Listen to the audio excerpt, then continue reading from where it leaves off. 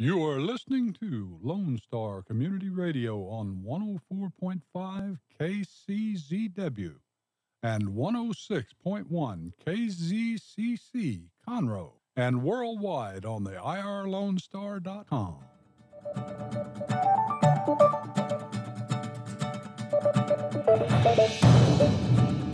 Good morning, ladies and gentlemen, and welcome to the weekly business hour. I'm Rick Schissler, your host. I'm a Silver Fox advisor and the founder of OneBestConsult.com. Well, welcome to today's show. Uh, the weekly business hour, in case you're a new listener, is where Montgomery County and, quite frankly, now businesses throughout the world come to talk about the latest in business news, ideas to improve your business, and to be part of a conversation that we hope can make a real difference in your business. First of all, I want to give a mention to and a big shout out to our sponsor, OneBestConsult.com. That's the number one, bestconsult.com. As I mentioned earlier, I founded this website. The main purpose is to provide a community for small business owners, a place where they can go and share issues, challenges, and get advice and comment from their fellow business people. All of this is done in confidentiality with uh, anonymity, and but it's a great opportunity because many times as small business people, we don't have a place or someone we can call on when we've got a particular challenge or business issue or business opportunity. So I encourage you check it out at One Best Consult, the number one bestconsult.com. And remember, those of you who are able, we're on Facebook Live. Go to Facebook go to the weekly business hour page and click on, and you can watch as well as listen to the show live. And one more reminder email. If you have a question during the show or after the show, or comment about the show, or particularly a, a say a business issue, something that's on your mind, I'd be glad to take a look at it and give you a response. Just send me an email at one bestconsult at gmail.com. That's one bestconsult at gmail.com. With this point, it gets real easy for you, the listener. Just sit back, grab your pad and pencil, and get ready to take notes as we talk about everything business right here on the weekly business hour. And I'm happy to say that our guest today is returning second part of a three part se- series with Doug Thorpe. Doug's a well known author, speaker, and business coach. And he is here in the second part of our three part series on Soup to Nuts Conversation entitled Building Better Teams by Becoming a Better Leader. So take a listen, hear what Doug has to say.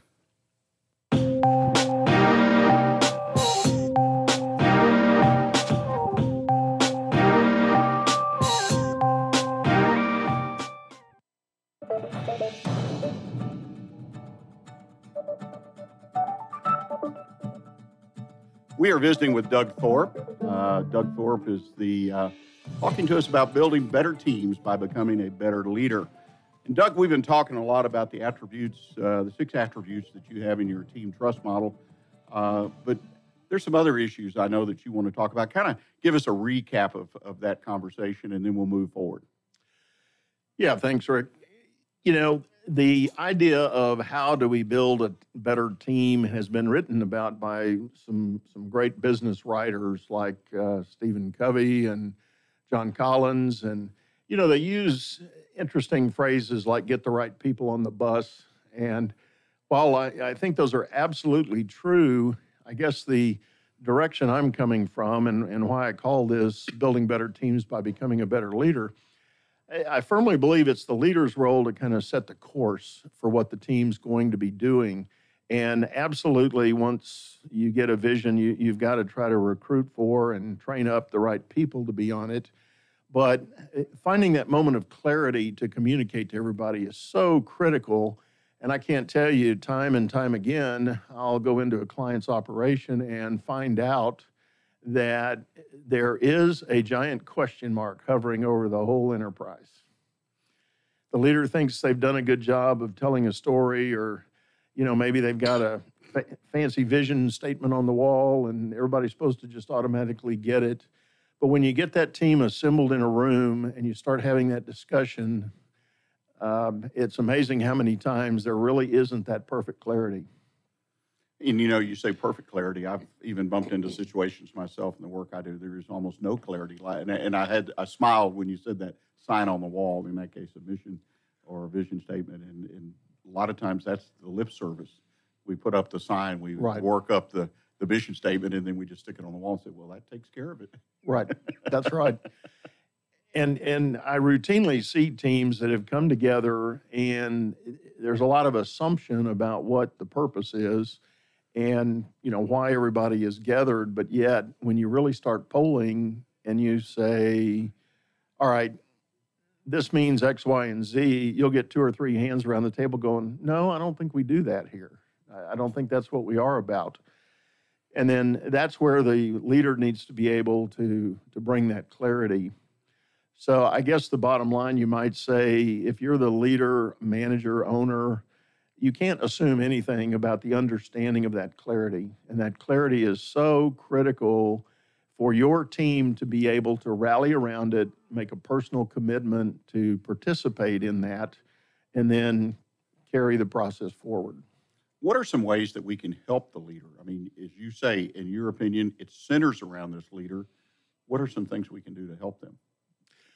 Well, I'm, that's a great question, and I'm thinking about a case in point recently. I had I, I had a client. I was actually asked to come attend a, a team meeting event where people were being gathered. They don't normally get to work close to each other because they're geographically dispersed, but they do make it a habit to periodically come together. And um, I asked the question does everybody understand why you're here and what you're doing? And they looked at me like I had a third eye.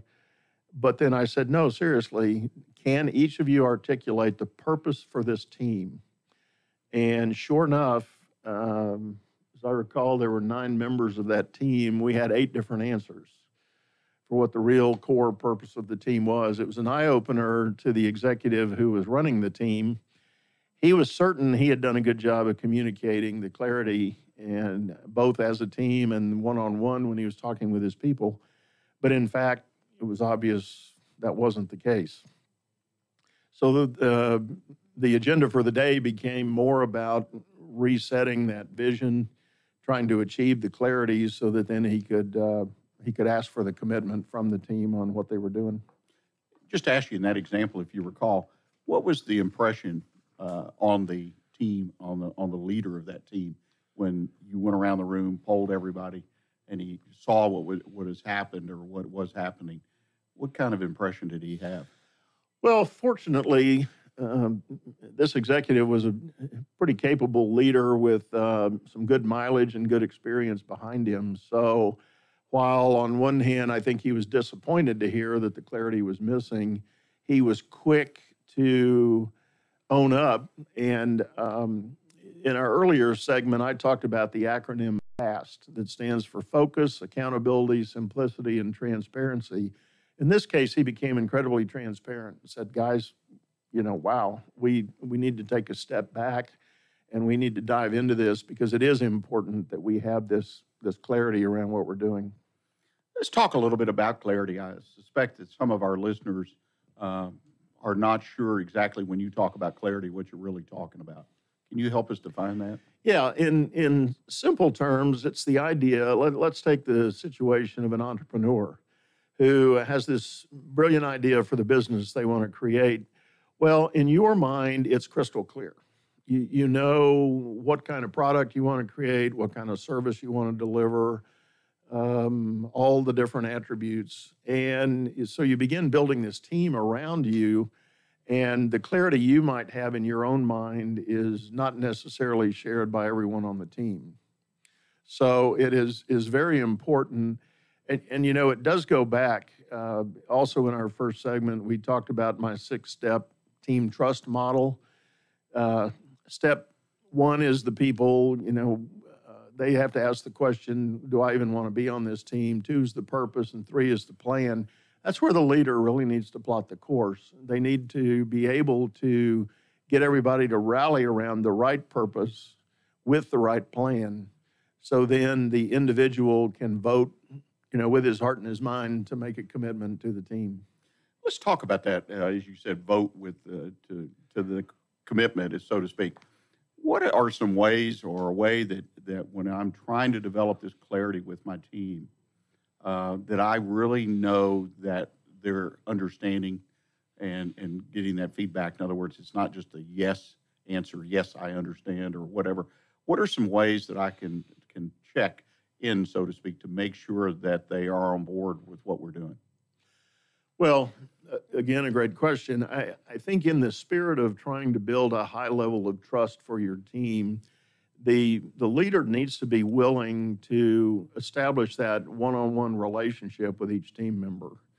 And in that process of talking one-on-one with your team, you need to uh, ask those questions. Um, you can you can ask for feedback you know, if you had, if you just came out of a team meeting and somebody you can tell by their body language is balking or uh, not so sure about what you're talking about, pull them off to the side, you know, very calmly and politely ask for feedback. Say, what did you hear? I sensed a pause in in your spirit about what we're doing here, and you know, you you, you the person could have been vocal, or maybe they weren't vocal, but you saw indications they weren't getting it so you've got to take that person offline and, and try to work with them and find out exactly where they are. You know, my sense of this is particularly if I have a new team, say I have new business or I'm growing a business and I've added people fairly quickly as I'm growing, I'm being successful, so to speak, in one sense of the word, that uh, I've got some real work to do as a leader to make sure each one of those team members, particularly as they're newer, if you will, to the business, to the company, uh, that they are on board, that they get it, Mm-hmm. and they're, and again, they buy into it and are willing to support it. Mhm. Anything, any advice there of what to do? I mean, uh, you got to, you had the meeting. You just mentioned an example where you pulled one off to the side that you were able to tell wasn't connecting or on the same page. What about, I mean, this is a project. I mean, this is something you got to work on. Yeah, it is. It, it's really an ongoing project. It, it is a challenge for leadership to stay with it, stay the course, um, work through this process. But that's why my experience has shown me that this team trust model that I'm an advocate of is such an interesting uh, roadmap to to get you get your team to higher levels of performance. Specific to your question, you know that individual that's kind of lagging if the rest of the team is is on pace and getting it if the right level of trust has been established they help each other.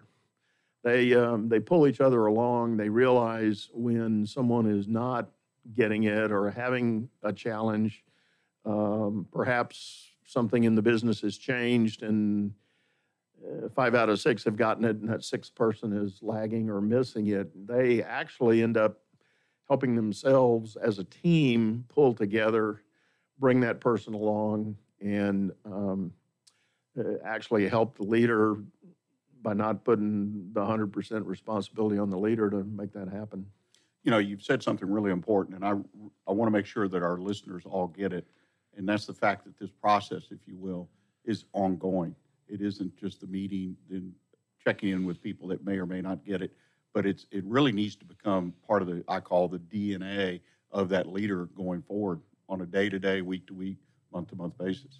It really is. When, when we began this discussion, we said the ultimate success of a team really starts with the leader, and that is true. And and it it does require a, a constant monitoring, a, a constant feedback to the team members by the leaders, saying, you know, yes, we're on course. No, we need to adjust something.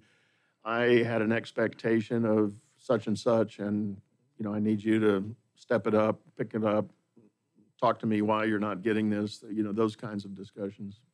Sounds like what you're doing is really building a model to build the business, and as such, the leader needs to be, and hopefully all the team members involved in it day to day, and probably some subtle ways as well as some obvious ways.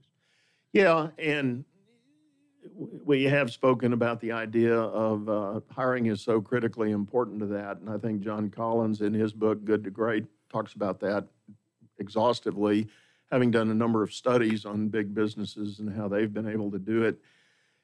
You know, it, I guess, uh, not to be crude about it, but the old saying, garbage in is garbage out. If you, if you haven't been able to hire the right people to be on your team, um, that's going to make it a, a near impossible adjustment to make.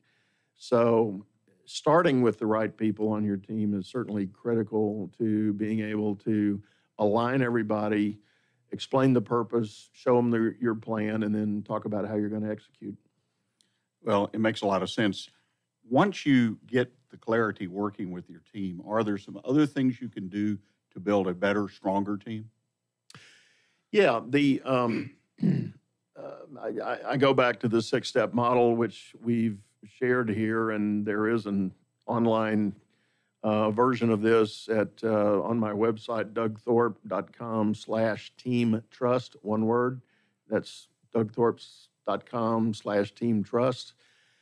Um, the other steps involve as you uh, once everybody is aligned with the team the purpose and the plan then you've actually you get into practice and you're out in the trenches doing the job doing the work and you have to have kind of a constant feedback process to say well is this effort working?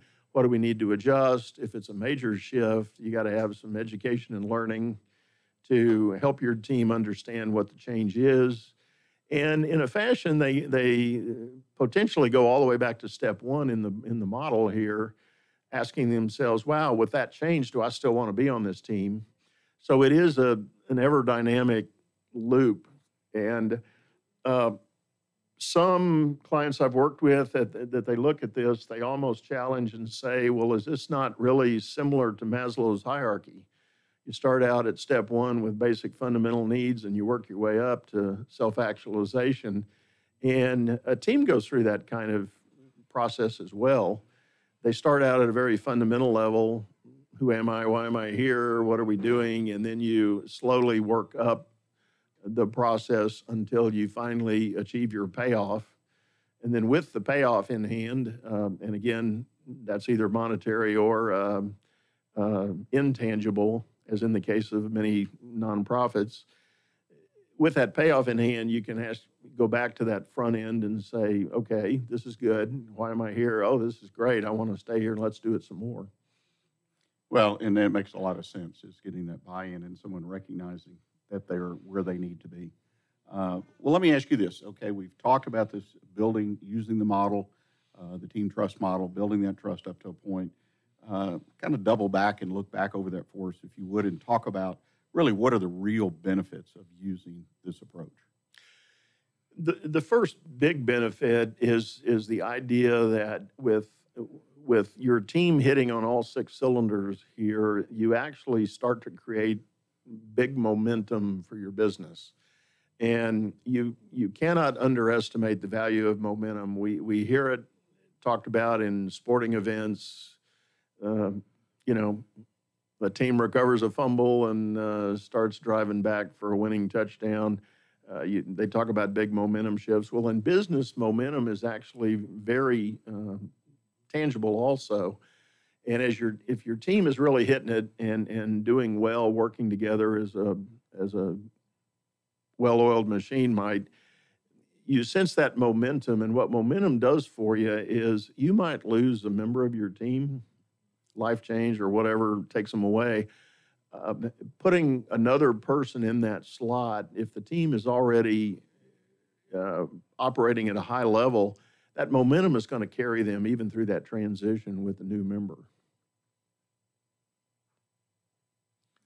You know, Doug, you were talking about momentum uh, and how important it is, and, and you really you woke me up a little bit. I'll be frank with you about, of course, the momentum in sports. I agree. It's in the current basketball playoffs. It's everything baseball, football, all around us in sports. But I'm not sure that I even think about it that often that the momentum, once a business is moving and growing, uh, we read these success stories about all the all the, the noise that goes on when you're moving forward and everybody's excited and everybody's pulling.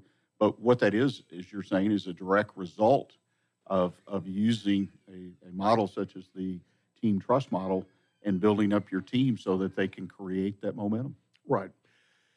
Yeah, I think it's safe to say if, if you take the counter position and think about that, I don't know any business that I can think of in my past that is achieving levels of success with constant conflict, frustration, turnover, um, retraining, re-educating the team. I don't know any business that is able to achieve their maximum capacity with when that all is going on. So that's what I'm talking about with momentum is when you overcome those things and you start getting a regular rhythm to your business and kind of a hum to the activity that's going on. Um, it's it's seldom that you see a business that has that hum that's not doing some great things. You know, you touched on some important things. You touched on some things that are, I guess, call them negatives in a general sense, where where you have turnover and you have this and that. And if that's going on in your business, that in itself is is self fulfilling prophecy. You're not you're not doing well Right. if you're not addressing those issues. But then it becomes a recovery effort. If I've got a lot of turnover, my approach typically is, well, I've got to fix that problem. It's not to step back and say, hey, maybe I need to find a new way overall. How do you convince someone that they need, you know, they say, well, I've got a lot of turnover, Doug, help me with this. How do you convince them to step back and take a look at something like the, uh, the team trust model?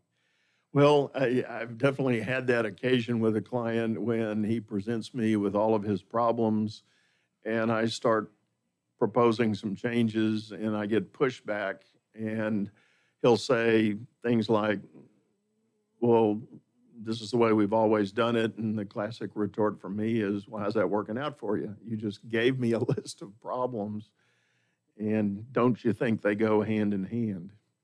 So um, there are business situations when ultimately you say to somebody, why don't you just start this over with a different plan? Yeah, it makes a lot of sense. I- It's a very, I would assume it'd be very challenging to bring that up to somebody that has the obvious signs. And if you're listening to this program, I mean, take a look at your own business. See if you have some of these recurring problems and you can't seem to get past them. And I think it's because you're you're just trying to fix that problem. You're not addressing the whole. Well, Doug, as we if as we wind down this part of our conversation, uh, I think it'd be a great idea if you don't mind share with us some case studies, some actual cases or situations uh, that you've been in that reflect uh, the real value of, of following the the team trust model. Yeah, uh, one that comes immediately to mind, I, I know of a situation where the team is comprised of some very highly skilled, uh, highly trained, highly technical people, and the team leader made the quick assumption that everybody got it, that the team had been constituted for a particular mission. I think the team leader was thinking, well, these guys are smart. They've been doing this a long time. Certainly, uh, we can just go to work and everything will be fine. And yet, uh, when the team was pulled together and the discussion about clarity came up, uh, which I basically ask every team meeting I'm in just to get a gauge on where they might be. The, um, the answer was no. You know, I've got my peas, he's got her P, uh, his peas, her peas, et cetera, et cetera. So the assumption based on technical expertise is not a good one. I think it goes without saying that regardless of the skill and education of your people, there's still always that need for that, you know, proverbial flag to go in the sand for everybody to rally around and say, no, this is what we're about. This is what we need to be doing. Now let's have the discussion. How can we leverage our strengths and talents to get there? Well, yeah, that, that old world assumption, we know about that. it bites each and every time. Why not right here? Right. Makes sense that that happens. Right. Any other case studies jump out to you, uh, jump out in your mind that uh, would help people understand uh, or tangibilize, so to speak? Well, I'll tell a story on myself. I, I, I have alluded to it before, and in my own experience trying to start up a company, I was too quick to assume that everybody could understand the mission. I thought we had a very clear definition of the service we were going to be providing. I thought it was pretty simple to understand. And as I brought people into the team, um, the the training was marginal at best, and I'm again I'm telling a story on myself.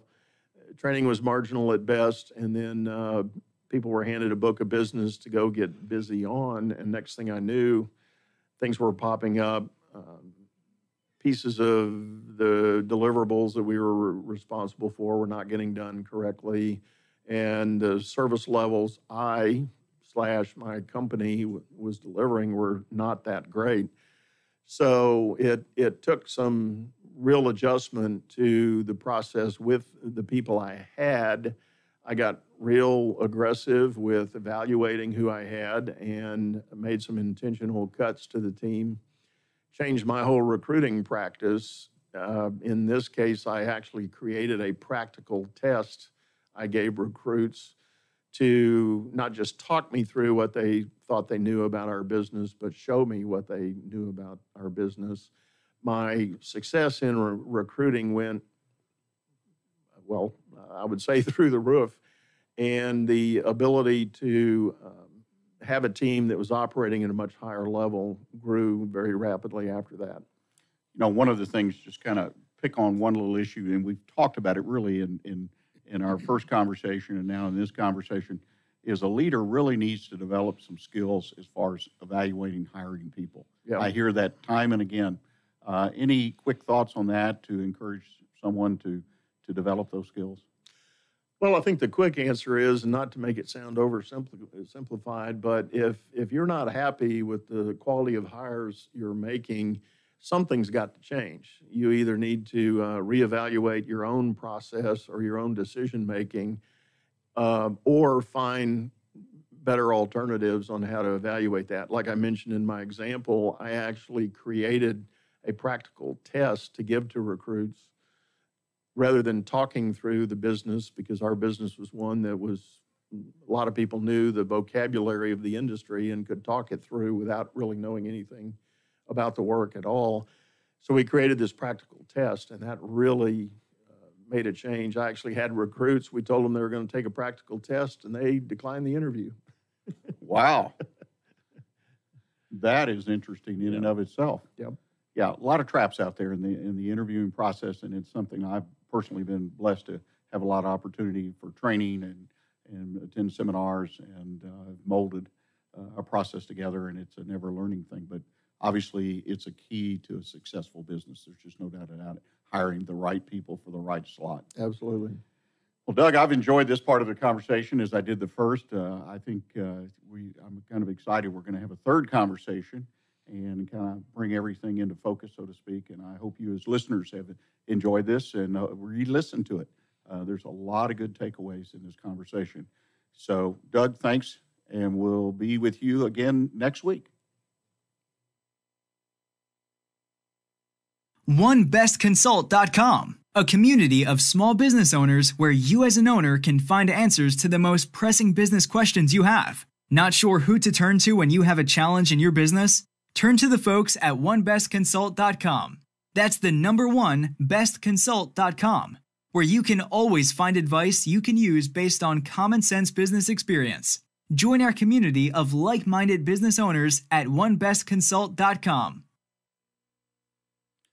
Well, I want to offer a big thank you to Doug Thorpe for joining us again on our Soup to Nuts conversation.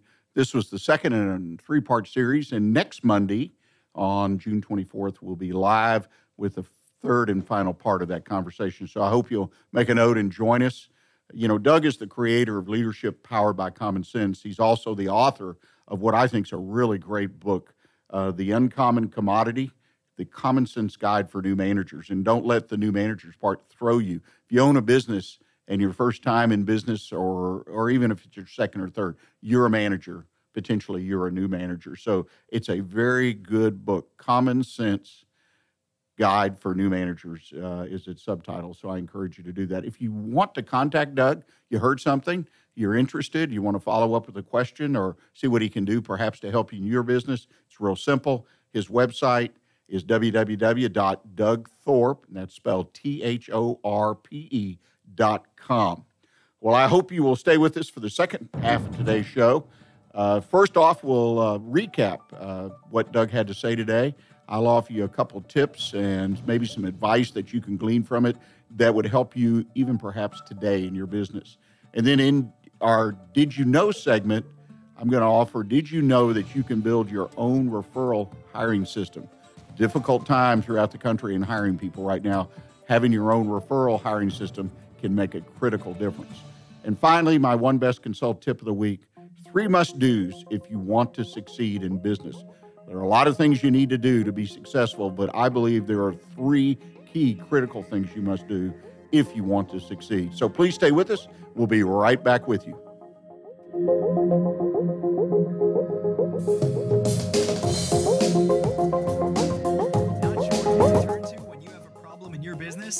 Listen to the weekly business hour on Lone Star Community Radio.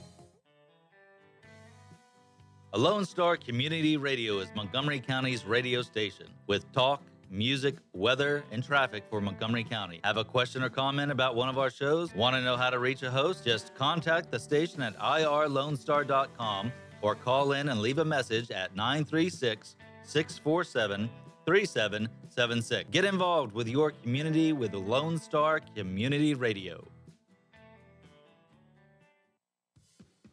From the beginning, the main purpose of the Cooperative Extension Service has been to change human behavior by teaching people how to apply the results of scientific research.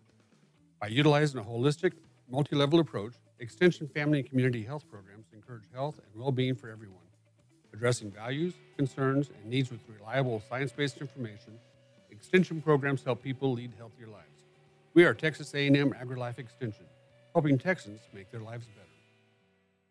Hey guys, this is Connor. This is Dick. This is Chris. And we're with the Ticket Stub Podcast every Thursday live at noon on 104.5 and 106.1 FM in the Conroe area. Also, anytime at irlonestar.com. You go to irlonestar.com backslash TTS. You can find all of our social media. And don't forget, we give away two tickets to the Grand Theater on every show. If you like movies and you like complaining or celebrating anything that has to do with the silver screen, check out the Ticket Stub Podcast and join us every Thursday at noon o'clock on Lone Star Community Radio.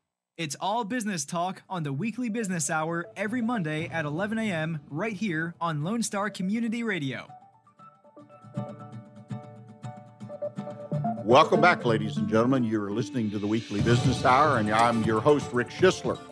Well, in this segment, uh, I want to start off by doing a quick recap of what we heard from Doug Thorpe today in the previous half hour. But before I do that, I want to remind you that a podcast, video cast of the show, will be available on Wednesday of this week. It's posted in a number of social media sites, as well as here on the station, irlonestar.com's website. Just look for the weekly business hour page here at the station's website, onebestconsult.com, YouTube, and so on and so forth. So be sure to check out the podcast if you missed something, or I really would personally appreciate it if you consider sharing what you saw and heard today on the weekly business hour. Let's recap that conversation with Doug Thorpe. Uh, he covered a lot of ground, but a couple of things really stand out to me that could I could utilize when I had my businesses. Some things that that really hit directly at what could be done really immediately to improve your business, make it more efficient, and therefore more profitable. Uh, first and foremost, he talked a lot directly and indirectly about communication and clarity communication with you and your business. This is something that's one of the most important things we do every day. We come into a business, we communicate. We come to our own business, we communicate. We communicate with the workforce, the people who work there. We communicate potentially with customers. We communicate with vendors uh, and also people who provide us with services, such as our lawyer, accountant, uh, other folks that do things as vendors, as I mentioned, supply us with products and services. So Communications, be sure that you're doing the very best you can with communications with your employees. Now, in Doug's case, clarity. He called it clarity. Uh, and he mentioned, I think we finally kind of boiled it down. What does clarity m- mean? And defined it as clarity is the ability, and this is my take on it, the ability to get everyone that's in your workforce on the same page. In other words, everybody's purpose for being there, everybody's goal and what they're trying to accomplish is on the same page. Everybody's pulling, pushing the same way. Because that's critical. Because if you have an employee, for an example, say you have three employees, or you have 30, or 300, or 3,000. If you've got an employee, you have three employees, and you have one who's just not on the same page with you. Say he or she is just there to draw a check, really has no interest in your business. And I'm giving an extreme example, and there are a lot of in between positions to this, you're going to suffer. The other people on the team are going to suffer.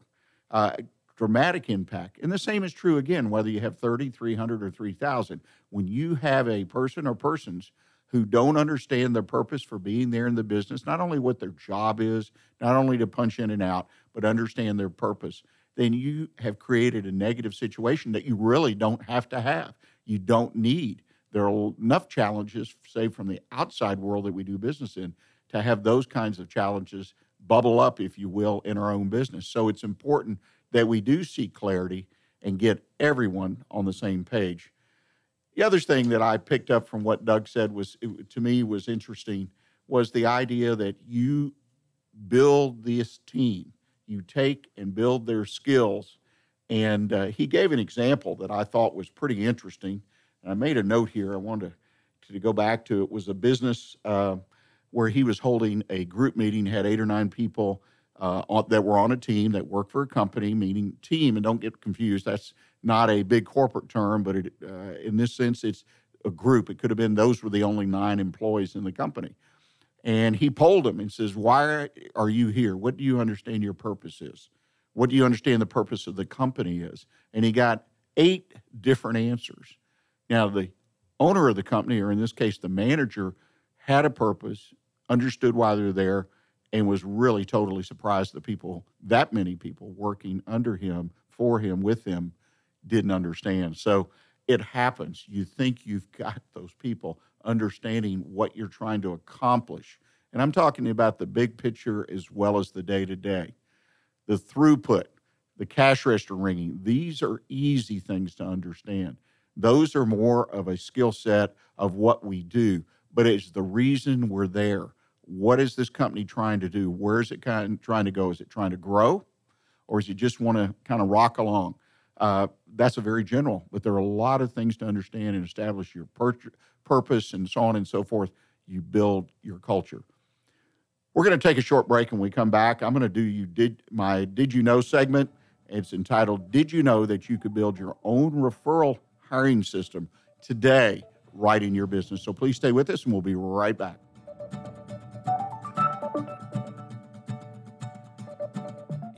About business on the weekly business hour every Monday at 11 a.m. on Lone Star Community Radio.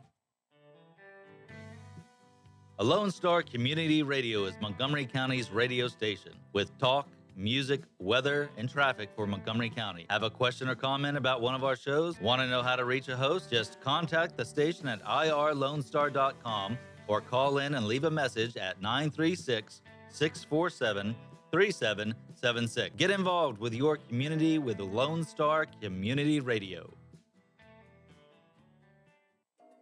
Hispanic Chamber Connections with Dr. Carlos Sanchez, President of the Woodlands Conroe Hispanic Chamber of Commerce, featuring event announcements, member highlights, and more. Tuesdays at 1 p.m., broadcasting from the heart of Conroe, Texas on irlonestar.com and Conroe's FM 104.5 106.1. Is there someone you know who is hooked on vintage aircraft? Follow the Commemorative Air Force and its fleet of World War II planes, including the mighty B 17 Flying Fortress Texas Raiders, which is based in Conroe, Texas. Texas Raiders tours locally and all around the United States, offering the public a chance to put their hands on aviation history. What could be a more perfect gift than a flight on a historic B 17. Taking to the sky on the iconic bomber is an experience that will never be forgotten. For the touring schedule, reservations, or more information, go to b17texasraiders.org or call 855 Fly a B 17. For business ideas and news you can use, join us on the weekly business hour every Monday at 11 a.m. on Lone Star Community Radio. You are listening to the Weekly Business Hour, and this is Rick Schissler, your host. Uh, we're at the Did You Know segment of today's show. Did you know that you can build your own referral hiring system? Uh, this is something that I think is one of the small, but it can be really critical for your company. I mean, today, in today's business world, generally throughout the country, all I read and see and hear from folks, it's hard to find candidates, it's hard to find job prospects. And to me, always uh, in my career, with rare exception, the best hires I was able to make, the ones that really stood out, were people that were referred to me. And that's what I'm talking about with the referral hiring system. Uh, and there's some reasons for this. Uh, first, your employees know your company. So if your employees refer a candidate to you, a prospect to you for hiring, they know your business and you're going to uh, can assume with some degree of certainty they've communicated the good things and perhaps the bad things about your company to that prospect. So that prospect comes to the table, if you will, to go into the interview process with a lot of knowledge or some knowledge about your company, and that's a good thing. Secondly, an employee who loves their job and company will only bring new people in that they trust and they'll help build the company and maintain the great company they work for. To me, that's a little bit of common sense. I work at a company, I love the company, I love what I'm doing. I'm not going to recommend someone to the company, I'm not going to refer someone to the company that's going to come in and be a bad employee. And that leads into the third thing, and that's sort of the godfather responsibility, I call it. When I bring someone to the business, then forever they're my responsibility. And again, this goes back to the idea I love my job, I like my company, whatever my motivation is. And when I refer somebody in, I want them to love the company, enjoy the work, be part of the team. I'm not going to bring people to the table that are going to do the exact opposite and not enjoy the job, not eh, care about the company, care about what we're doing, and so on and so forth. On top of that, I have the Godfather responsibility. It reflects on me as an employee when I recommend someone to join our family. So, the three steps to building referral hiring in your company first of all, build a great culture. Uh, this gets talked about a lot and it kind of ebbs and flows as a popular business topic. But the fact is, you've got to build an atmosphere, an attitude, if you will, in your business that people want to be a part of. They want to come to work every day, not just for the paycheck. In fact, that's probably the worst reason they come to work is just for the paycheck. People need to want to work for your company. And to me, that reflects directly on the kind of culture, if you will. And pick another word if you're tired of the word culture. But the idea is that people want to work for you and your business. Secondly, hire only those referred by employees. You know, there are some companies, and I was reading over the weekend about some that they basically won't hire quote unquote outsiders. They will only hire people that are referred. Now, obviously, they've done a lot of legwork, they've spent a lot of time developing this so that their employees are motivated to bring people, new prospective employees, to the company. But they make it a general policy and communicate that to the employees that basically we're only looking to hire people that you, as employees, bring to us. Okay? Make sure your workforce knows that if you decide to do it. I think any company can say, hey, this is our preference. First choice is to bring to us people you know, these are the people we want to hire. This is our choice. Great opportunity, I think, in your company to build the spirit, the culture of your company by letting employees know that they have a role in the direct role, really, in the hiring of new employees. And thirdly, I think it's important, very important, to acknowledge and celebrate those who refer a good employee to you.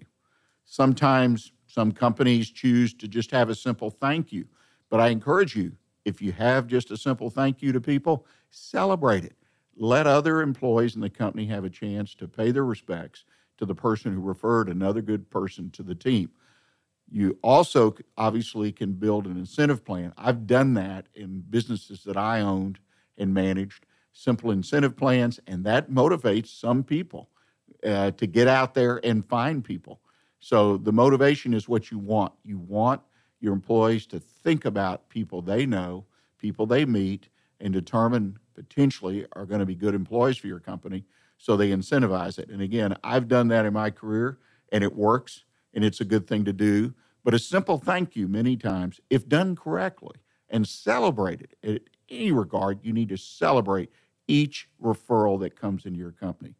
Well, did you know you can build your own referral hiring system? I just gave you three steps build a great company, great culture, one that people want to be a part of.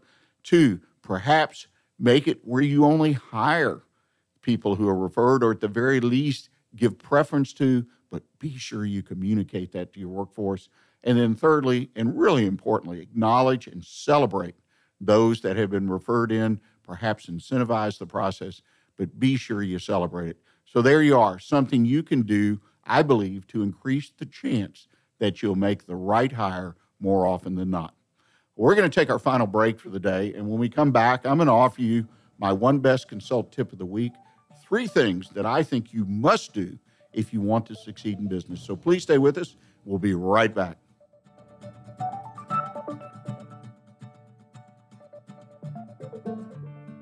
What is homelessness? Have you seen parents struggle to find a job without having transportation or childcare? What about the children sleeping in cars with nothing to eat? Families shouldn't have to struggle to survive, and children should not be homeless. Family Promise of Montgomery County serves the needs of homeless families and their children. Learn about ways you can help and learn about partnership opportunities at www.familypromiseofmc.org or call our day center at 936 441 8778. Don't miss Lone Star Community Radio on TV and YouTube. Our talk show and music shows are featured on Our City TV, Suddenlink Channel 12, and have their own YouTube channel. Make sure to subscribe to keep up with posted shows and comment on them below the video. It's all about business on the weekly business hour every Monday at 11 a.m. on Lone Star Community Radio.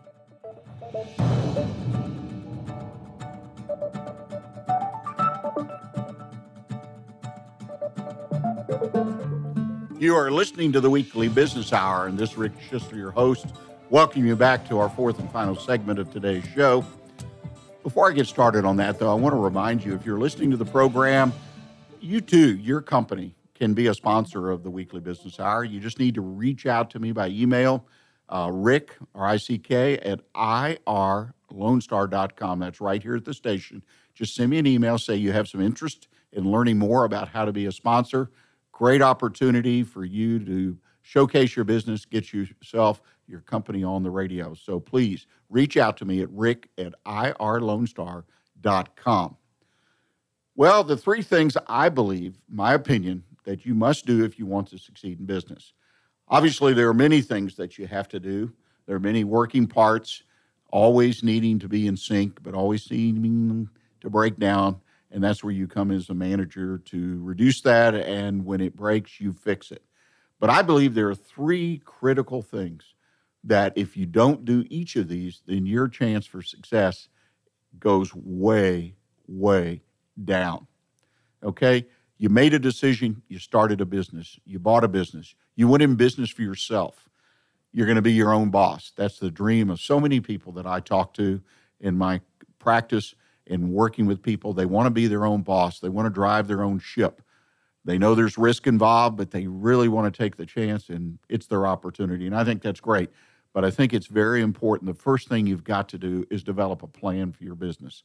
Now, this goes without saying, but let me assure you less than 7% of the companies, large and small, in America have any kind of plan.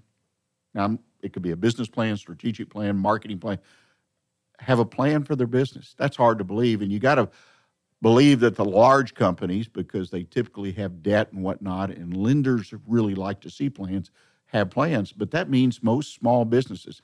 I took a, a, a poll recently of seven business people who I know, and I asked all of them, Do you have a business plan? Do you have some kind of plan you follow about where you're going with your business, the action steps you need to? Not one of them had any kind of written down plan. I think they all had a plan in their head, but accountability sort of slips and falls when you don't have it on paper, I believe. So the first step to finding success, write down your plan. There's no secret to the format.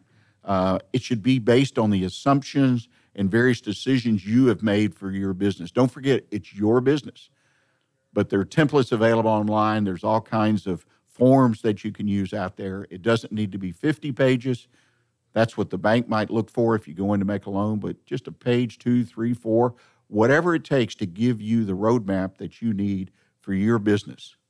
Very, very important because you need a roadmap, one, for accountability for yourself, and two, so you can share it with your employees as your business as your business grows and you bring in employees so they know where you're going.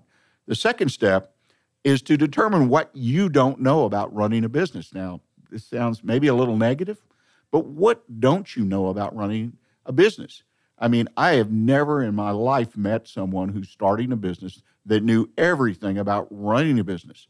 They may have, as I grew up in a family business, so they got a chance to really observe. And if you listen and follow, yes, you're better prepared to start a business, but there's still areas that you've got some uncertainty that you don't really know everything. And this is where you need to be able to reach out to other resources and individuals. This is where a mentor comes into play.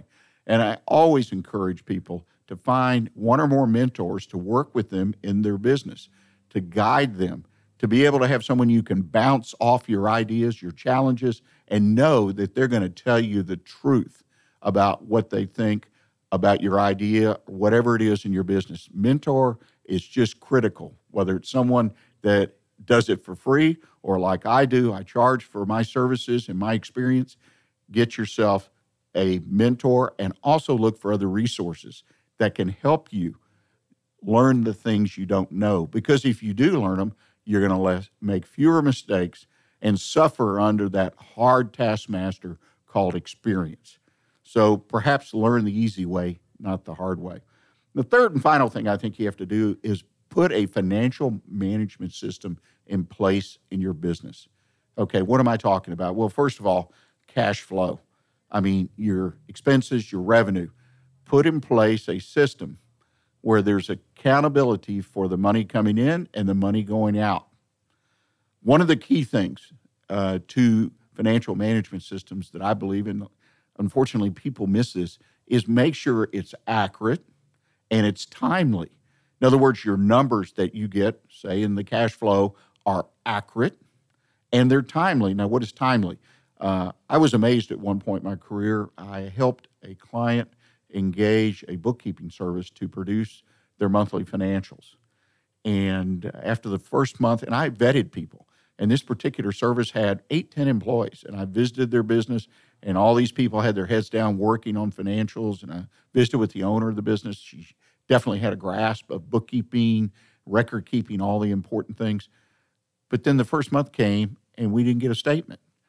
It was the 5th, the 10th, the 15th, still didn't have a statement. Well, one, I was embarrassed. I called up and says, "Where's the statement?" Oh, we're, we'll get it. Well, the next month, the same thing happened. So I picked up the phone. I went by to see them, made an appointment, went by to see them. And she explained to me, she says, You know, you're very unusual. I said, What do you mean? You want your information timely. I said, Yeah, we agreed by the fifth uh, or seventh of the month, I believe it was the seventh of the month, you would have a accurate financial statement for us. And she says, We just don't have, we just don't do that. And I said, Well, why? Because none of our clients really care. They don't want it. They some of them want to make sure they get it, but it's just I said, You've got to be kidding me. This is unbelievable. Make sure your numbers are accurate and they're timely because if they're timely, you can utilize some of that information, even though it's in the past, to properly run your business today and into the future. The other financial tools that are critical as part of your system are obviously your profit and loss statement and your balance sheet. You know, my dad was real big about saying, hey, the balance sheet is a lot more important than many people give it credit for. You need the profit and loss statement to go with the balance sheet understand both of those reports. You may need some additional education. That's where these other outside resources come into play. Lots of places you can get an education about how to read a financial statement. If you have a mentor, typically the mentor can help you with that understanding. But be sure you understand your profit and loss and your balance sheet along with your cash flow statement. Make sure you have these because, again, I believe if you don't have any one of these three, if you don't have a plan, and you don't seek out help about the things you don't know, and you don't have a financial management system in place, then you're going to fail. Uh, I, I, mean, I see no other way around it. Yes, there are other things that can cause the failure of a business, such as the loss of a major account, uh, the, the downturn in the economy, things that perhaps shouldn't cause a failure, but many times they do. But it's critically important you have those things. Well, ladies and gentlemen, I hope you'll put it on your calendar to join us again next Monday right here on IR Lone Star when Doug Thorpe will join us once again for part three of our conversation, Building Better Teams by Becoming a Better Leader. Look for a podcast of today's show again on the weekly business hour page at irlonestar.com on our Facebook page, YouTube channel, and other social media at the Weekly Business Hour. Thank you for joining us, and remember, stay in touch with what's happening in Montgomery County right here on Lone Star Community Radio. And until next week, I encourage you stay engaged and keep your focus on what counts in your business. Thanks. The Weekly Business Hour coming to you every Monday from 11 a.m. to 12 p.m. right here on IRLoneStar.com and Conroe's FM 104.5 and 106.1. I'm Rick Schissler, your host, and I encourage you to join us this coming Monday, June 24th, to hear the final part of our soup to nuts conversation, Building Better Teams by Becoming a Better Leader, with Doug Thorpe, a well known author and business coach. Remember, Monday at 11 a.m., listen to the weekly business hour. Thanks for checking out this show on Lone Star Community Radio, Montgomery County's community radio station. This show is owned and produced by Lone Star Community Radio and recorded live from the LSCR studios in downtown Conroe, Texas. For more information about the show, to be a guest, or to sponsor, just contact the studio at 936 647 3776 to leave a message or email us at lscrstudios at gmail.com.